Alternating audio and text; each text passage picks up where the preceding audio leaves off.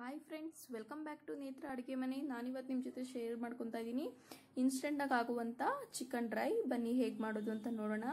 ನಾನಿಲ್ಲಿ ಎರಡು ಚಮಚದಷ್ಟು ಎಣ್ಣೆ ಹಾಕ್ಕೊಂಡು ಅದಕ್ಕೆ ಒಂದು ಎರಡು ದೊಡ್ಡ ಈರುಳ್ಳಿನ ಕಟ್ ಮಾಡಿಕೊಂಡು ಫ್ರೈ ಮಾಡ್ಕೊತಾ ಇದ್ದೀನಿ ನಾನಿಲ್ಲಿ. ಇದಕ್ಕೆ ಸ್ವಲ್ಪ ಉಪ್ಪು ಕೂಡ ಸೇರಿಸ್ಕೊಂಡು ಚೆನ್ನಾಗಿ ಫ್ರೈ ಮಾಡ್ಕೊತೀನಿ. ಎಣ್ಣೆಲಿ ಎಷ್ಟು ಚೆನ್ನಾಗಿ ಸಾಫ್ಟ್ ಆಗುತ್ತೆ ಆನಿಯನ್ನು ಅಷ್ಟು ರುಚಿಯಾಗಿರುತ್ತೆ.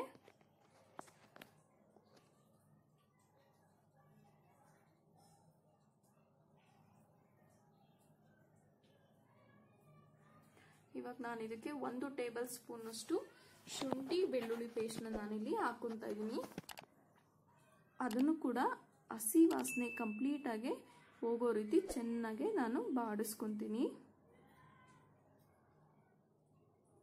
ಯಾವುದೇ ಸಾಮಗ್ರಿ ಹಾಕಿದ್ರೂ ಎರಡೆರಡು ನಿಮಿಷ ಚೆನ್ನಾಗಿ ಬಾಡಿಸ್ಕೊಂಡ್ರೆ ತುಂಬ ಚೆನ್ನಾಗಿರುತ್ತೆ.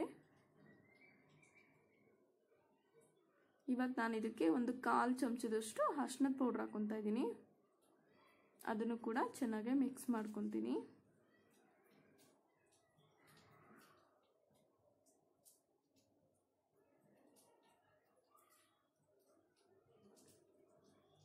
ಇವಾಗ ನಾನು ಇದಕ್ಕೆ ಒಂದು ಟೀ ಸ್ಪೂನಷ್ಟು ಧನಿಯಾ ಪೌಡ್ರ್ ಹಾಕೊತಾ ಇದ್ದೀನಿ.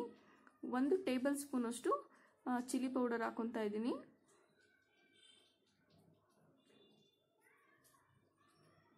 ನಿಮ್ಮ ಮನೆ ಚಿಲ್ಲಿ ಪೌಡರು ಖಾರ ಜಾಸ್ತಿ ಇದ್ದರೆ ಕಮ್ಮಿ ಹಾಕ್ಕೊಳ್ಳಿ ಖಾರ ಕಮ್ಮಿ ಇದ್ದರೆ ಸ್ವಲ್ಪ ಜಾಸ್ತಿ ಹಾಕ್ಕೊಳ್ಳಿ. ಇಲ್ಲಿ ಒಂದು ಟೊಮೊಟೊನ ರುಬ್ಬಿಟ್ಕೊಂಡಿದ್ದೆ, ಅದನ್ನು ಕೂಡ ನಾನಿಲ್ಲಿ ಹಾಕೊತಾ ಇದ್ದೀನಿ.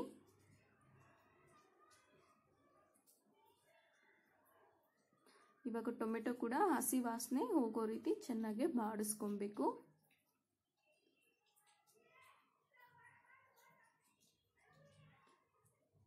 ಅದರಲ್ಲಿರೋ ನೀರಿನ ಅಂಶ ಎಲ್ಲ ಡ್ರೈ ಆಗೋ ರೀತಿ ಚೆನ್ನಾಗಿ ಬಾಡಿಸ್ಕೊಬೇಕು. ಇದಕ್ಕೆ ಇವಾಗ ಸ್ವಲ್ಪ ನೀರು ಕೂಡ ಸೇರಿಸ್ಕೊತಾ ಇದ್ದೀನಿ ಇದು ಬಂದು ಒಂದು ಅರ್ಧ ಲೊಟ್ಟದಷ್ಟು ನೀರು, ಟೊಮೆಟೊ ರುಬ್ಬಿದ ಏನು ಜಾರಿತ್ತು ಅದಕ್ಕೆ ಸ್ವಲ್ಪ ನೀರು ಹಾಕ್ಕೊಂಡು ಇದಕ್ಕೆ ಹಾಕ್ಕೊಂಡಿದ್ದೀನಿ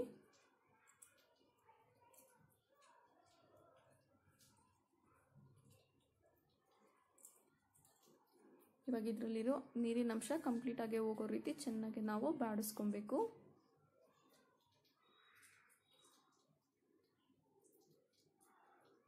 ಇವಾಗ ನಾನು ಇದಕ್ಕೆ ಸ್ಕಿನ್ ಔಟು ಚಿಕನ್ ಹಾಕ್ಕೊತಾ ಇದ್ದೀನಿ. ಅರ್ಧ ಕೆ ಜಿ ಚಿಕನ್ ನಾನಿಲ್ಲಿ ತೊಗೊಂಡಿದ್ದೀನಿ.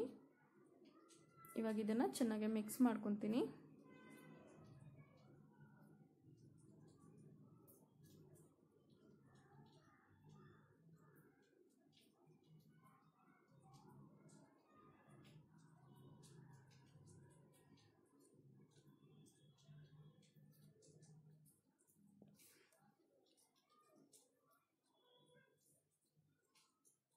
ಇವಾಗ ನಾನು ಇದನ್ನು ಒಂದೆರಡು ನಿಮಿಷ ಮುಚ್ಚಿಬಿಟ್ಟು ಕೂಡ ಬೇಯಿಸ್ಕೊತಾ ಇದ್ದೀನಿ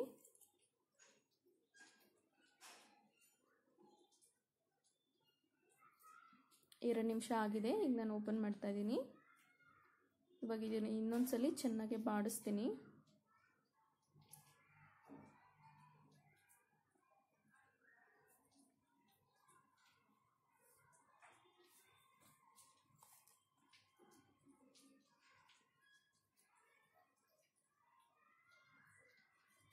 ಇವಾಗ ನಾನು ಇನ್ನೂ ಒಂದೆರಡು ನಿಮಿಷ ಮುಚ್ಚಿಬಿಟ್ಟು ಬೇಯಿಸ್ಕೊತೀನಿ. ಒಂದು ಮೂರರಿಂದ ನಾಲ್ಕು ನಿಮಿಷ ಬೇಯಿಸ್ಕೊಂಡಿದ್ದೀನಿ ನೋಡಿ, ಇವಾಗ ಚಿಕನ್ ಎಲ್ಲ ಚೆನ್ನಾಗಿ ನೀರು ಬಿಟ್ಟಿದೆ. ಮುಚ್ಚಿ ಇಟ್ಟಾಗ ಚಿಕನ್ ನೀರು ಬಿಡುತ್ತೆ. ಓಪನ್ ಮಾಡಿ ಫ್ರೈ ಮಾಡ್ಕೊಂಡಾಗ ನಿಧಾನವಾಗಿ ಡ್ರೈ ಆಗ್ಲಿಕ್ಕೆ ಸ್ಟಾರ್ಟ್ ಆಗುತ್ತೆ.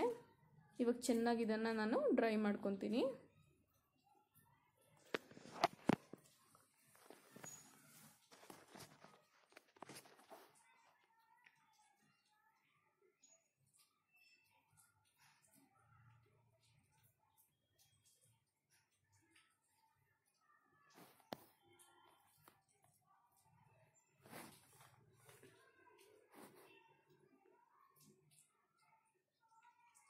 ಇವಾಗ ನಾನು ಇದಕ್ಕೆ ಕರ್ಬೇವಿನ ಸೊಪ್ಪು ಹಾಕ್ಕೊತಾ ಇದ್ದೀನಿ ಒಂದು ಸ್ವಲ್ಪ.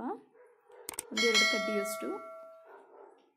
ಕರ್ಬೇವಿನ ಸೊಪ್ಪು ಹಾಕೋದ್ರಿಂದ ಅದು ತುಂಬ ನೋಡೋಕ್ಕೂ ಚೆನ್ನಾಗಿ ಕಾಣುತ್ತೆ, ಅದು ಫ್ಲೇವರು ತುಂಬ ಚೆನ್ನಾಗಿರುತ್ತೆ ತಿನ್ನಬೇಕಾದಾಗ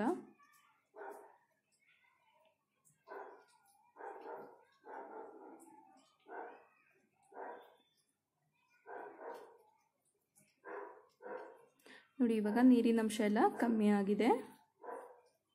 ಇವಾಗ ನಾನು ಇದಕ್ಕೆ ಒಂದು ಅರ್ಧ ಚಮಚದಷ್ಟು ಗರಂ ಮಸಾಲ ಪೌಡ್ರ್ ಹಾಕ್ಕೊತಾ ಇದ್ದೀನಿ. ಅದನ್ನು ಹಾಕಿ ಚೆನ್ನಾಗೆ ಮಿಕ್ಸ್ ಮಾಡ್ಕೊತೀನಿ. ಇದೇ ಟೈಮಲ್ಲಿ ನೀವು ಮೆಣಸು, ಕಾಳು ಮೆಣಸಿನ ಪೌಡ್ರು ಕೂಡ ಹಾಕೊಬೋದು. ಅದು ಕೂಡ ತುಂಬ ಚೆನ್ನಾಗಿರುತ್ತೆ. ಕಾಳು ಮೆಣಸು ಬೇಡ, ಖಾರ ಅನಿಸುತ್ತೆ ಅನ್ನೋರು ನೀವು ಹೀಗೆ ಕೂಡ ಮಾಡ್ಕೋಬೋದು. ಸ್ಕಿಪ್ ಮಾಡ್ಬೋದು ಕಾಳು ಮೆಣಸನ್ನು.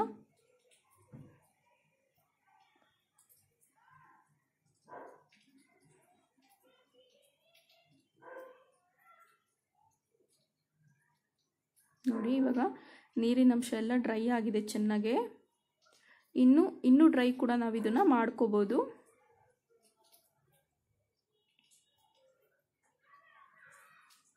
ನಾನು ಇದರಲ್ಲಿ ಸ್ವಲ್ಪ ಗ್ರೇವಿ ಥರ ಇರಲಿ ಅಂತ ಇಷ್ಟಕ್ಕೆ ನಾನು ಇದು ಮಾಡ್ತಾ ಇದ್ದೀನಿ. ನೀವು ಬೇಕು ಅಂದರೆ ಇನ್ನು ಫುಲ್ಲು ಡ್ರೈ ಕೂಡ ಮಾಡ್ಕೋಬೋದು.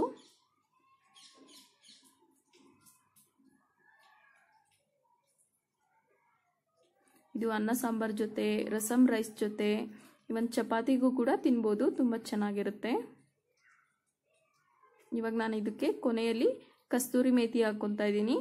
ಕೊತ್ತಂಬರಿ ಸೊಪ್ಪನ್ನ ಕೂಡ ಹಾಕೋಬೋದು